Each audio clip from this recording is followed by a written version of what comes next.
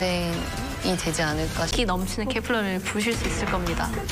마지막 경연인 만큼 케플러다운 노래를 보여드려야겠다. 어,